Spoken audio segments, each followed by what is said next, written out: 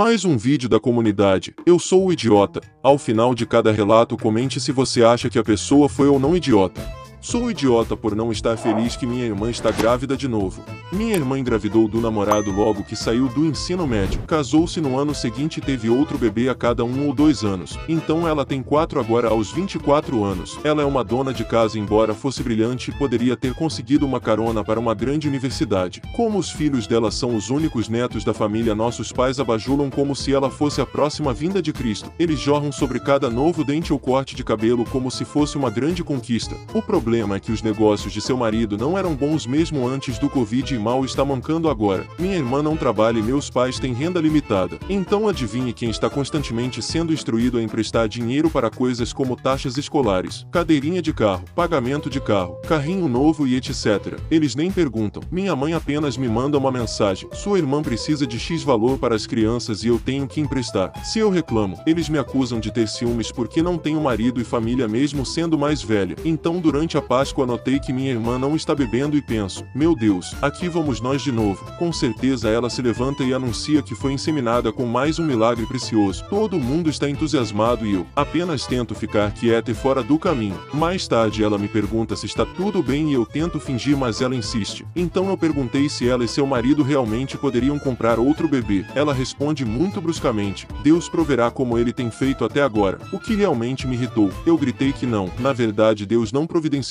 para os bebês dela. Eu fiz e eu não ia dar mais esmolas. Isso se transformou em uma grande discussão com todos gritando comigo e, basicamente, eu fui banida da minha família a menos que eu pedisse desculpas. Eu não pedi desculpas. Eles têm ficado em silêncio exceto por uma mensagem da minha mãe dizendo que se minha irmã abortar é minha culpa por estressá-la. Fui idiota de ter feito isso. Sou idiota por envergonhar meu noivo e tirar meus saltos na nossa festa de noivado. Meu noivo e eu ficamos noivos há vários dias. Isso é relevante. Ele é alto e eu estou na categoria 5, bem pequena comparada a ele e sua família. Ele pediu que eu usasse salto alto em nossa festa de noivado já que haveria fotos. Apesar de não me sentir confortável com saltos altos, decidi usá-los apenas por causa dele, já que ele implorou e implorou. Também porque ele prometeu que eu ficaria sentada a maior parte do tempo, mas na festa ele me fez ficar de pé por horas para receber os convidados com ele. Fiquei tão cansado de ficar de pé e meus pés e pernas estavam pegando fogo. Perguntei se eu poderia sentar, mas a mãe dele disse que eu sou a noiva e deveria ficar ao lado do meu parceiro, não apenas sentar como se a festa não tivesse nada a ver comigo. Eu disse ao meu noivo novamente que eu estava com muita dor, mas ele disse: Fica mais um pouco, está quase no fim. Eu tive o suficiente. Tirei meus saltos e deixei meus pés e pernas esfriarem. Ele e sua mãe me olharam em total confusão. Vários de sua família e convidados me viram descalço também. Ele surtou perguntando o que eu estava fazendo. Sua mãe pediu que eu colocasse meu meus saltos, mas eu disse que meus pés estavam feitos e eu não podia mais fazer isso. Meu noivo me implorou, mas eu fiquei lá até que acabou como ele queria. No minuto em que entrei no carro, ele enlouqueceu dizendo que eu envergonhei na frente da família e dos amigos por ficar ali descalço e me recusando a colocar meus saltos de volta. Mesmo depois que sua mãe pediu repetidamente. Lembrei-lhe que ele disse que eu não estaria de pé, mas acontece que não era verdade. Ele argumentou que para alguém com uma altura como a minha, então eu deveria usar salto alto com mais frequência e disse que deveria ter engolido por causa dele. Ele subiu e desligou o telefone e se recusou a falar comigo. Eu não tinha intenção de envergonhá-lo e sinto que deveria ter engolido isso, mas acho que ele não foi sincero sobre quanto tempo eu deveria ficar de pé. Fui idiota de ter feito isso.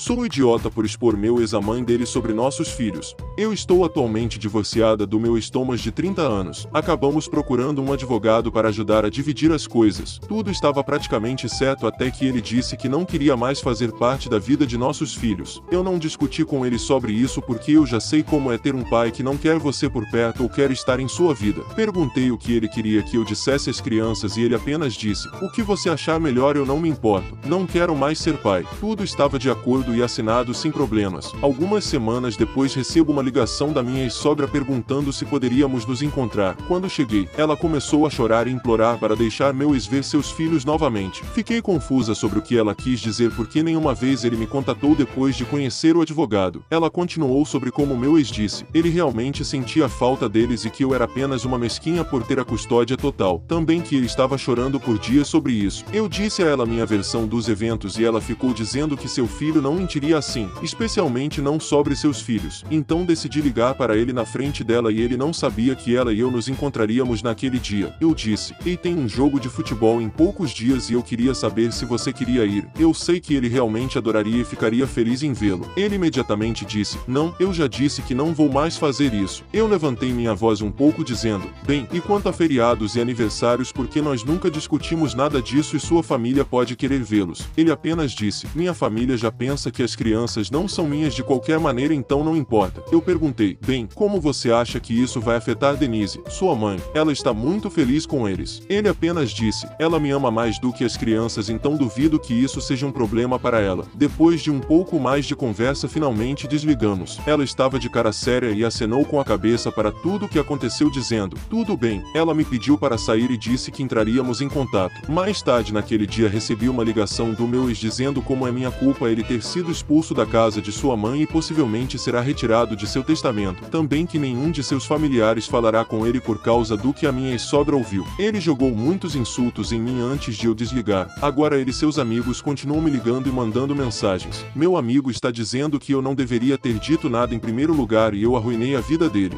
Fui idiota de ter feito isso.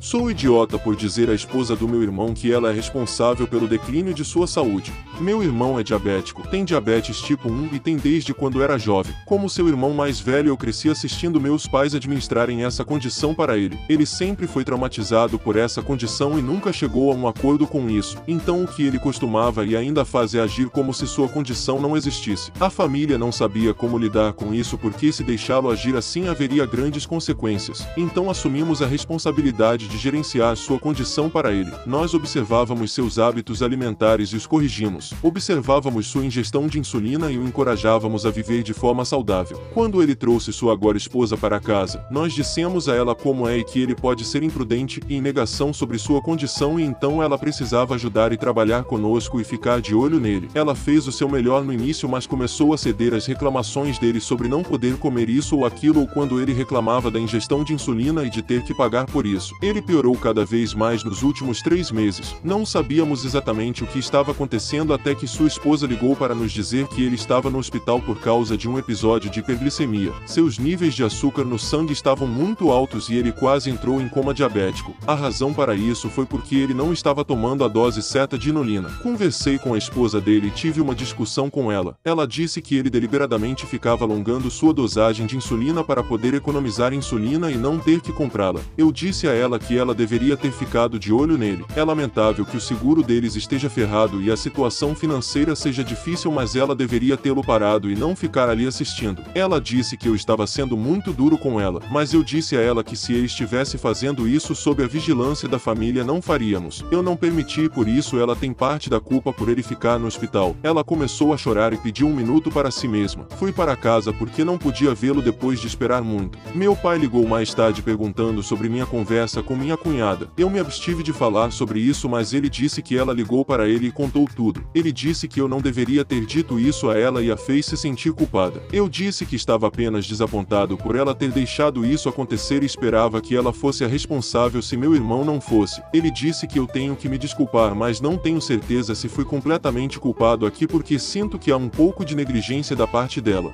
Fui idiota de ter feito isso. Gostou dos relatos? Então deixe seu like, inscreva-se no canal e clique no vídeo que vai aparecer agora.